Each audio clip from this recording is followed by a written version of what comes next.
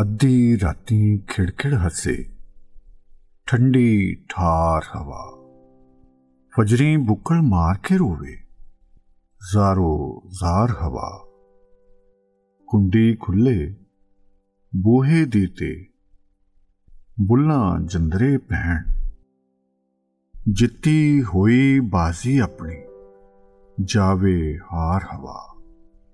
ਫੁੱਲ ਆਪਣੇ ਫਨ ਖੋਲ ਕੇ ਆਖਣ ਆ ਜਾ ਸਾਡੇ ਕੋਲ। ਡੰਗਾ ਖਾਦੀ ਉੱਡਦੀ ਜਾਵੇ ਮਾਰੋ ਮਾਰ ਹਵਾ।